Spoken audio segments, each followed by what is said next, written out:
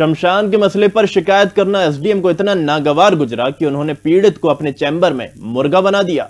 इस घटना का वीडियो वायरल होने के बाद डीएम ने एसडीएम को तहसील से हटाकर मुख्यालय अटैच कर दिया है। बरेली के मीरगंज क्षेत्र के एसडीएम ऑफ़िस का एक वीडियो सोशल मीडिया पर वायरल हो रहा है, जिसमें दिखाई दे रहा है कि बरेली की मीरगंज तहसील के एसडीएम ऑफ़िस में एक पीड़ित मुर्गा बना हुआ है और अपनी बात कह रहा है। वीडियो में साफ़ दिखाई दे रहा है कि एसडीएम मीरगंज उदित पवार के पीछे बोर्ड पर उप जिलाधिकारी का पद भी अंकित है। बताया जा रहा है कि गाँव के ही कुछ लोग शमशान भूमि संबंधित मांग को लेकर एसडीएम कार्यालय पहुँचे, लेकिन एसडीएम ने गाँव के व्यक्ति को मुर्गा बना दिया और प्रार्थना पत्र फेंक दिया। लेकिन आज तक शमशान भूमि के बारे में आया हूँ। मैं शमशान भूमि ग्राम मंडनपुर में तहसील मीरगंज में नहीं है। मैंने प्रमाण पत्र दिया था एसडीएम साहब के लिए एसडीएम साहब ने मुझे मुर्गा बना दिया गया। मुर्गा बनाने के बाद मैंने कहा, साहब, मुर्गा क्यों बना रहे हैं? गाली गलौज देने लगे। मैंने कहा, साहब, ये तो मैं दो बार आपके ढाने आ चुका हूँ। तीसरी बार आया हूँ, मुझे न्याय नहीं मिला है। न्याय जब तक नहीं मिलेगा, जब तक मैं मुर्गा बनने से नहीं हटूँगा। तो कहते हैं, सालों तो तुम नाटक करने को ऐसे नाटक करते रहो। उन्होंने हमारी प्रमाण पत्र फेंक दिया गया इस मामले में एसडीएम उदित पवार ने बताया कि जब मैं अपने चैम्बर में था, तभी पाँच, छह लोग आए, जिसमें से एक आदमी आते ही मेरे सामने मुर्गा बन गया और मैंने उससे बोला कि, मुर्गा क्यों बने हुए हो? जो बाकी लोग आए हुए थे, उनको बोला, इसको उठाइए, इतने में ही एक आदमी ने वीडियो बना लिया।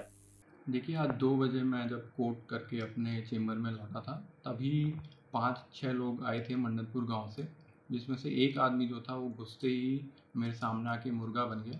और मैंने उससे बोला कि आप मतलब मुर्गा क्यों बने हो? और मैंने बाकी लोग जो आए थे गाँव से, उनको बोला कि इसको वहाँ से उठाइए। इतने में ही शायद कोई आदमी जो था, जो पीछे था, जो वीडियो बना रहा था। और जब तक मेरे को ये पता चलता, वो वीडियो बना के वहाँ से निकल गया था। उसके बाद मैंने उनकी शिकायतें सुनी और उनके निस्तारण करने के लिए मैंने लेखपाल को भी वहीं पे फ़ोन करके बोला। तो जो भी ये आरोप लगाए जा रहे हैं कि ये मैंने उस आदमी को मुर्गा बनाया, वो गलत है। एकदम निराधार। है इस मामले को डीएम शिवाकांत द्विवेदी ने गंभीरता से लिया और एसडीएम की गलती मानते हुए उन्हें तहसील से हटाकर मुख्यालय अटैच कर दिया।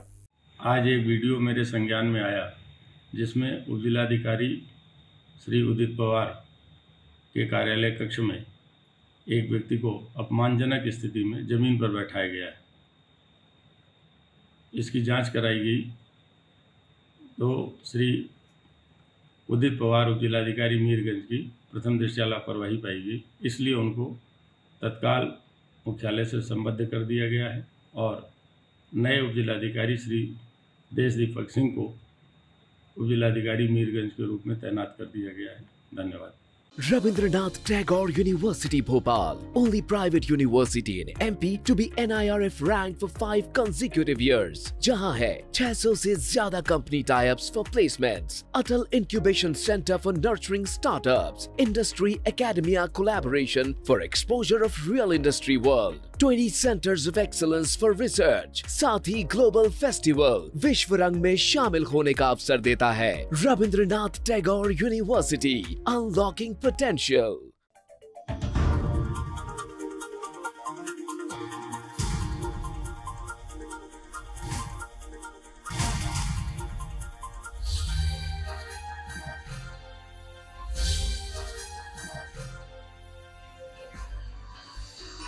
आप देख रहे हैं दखल न्यूज़।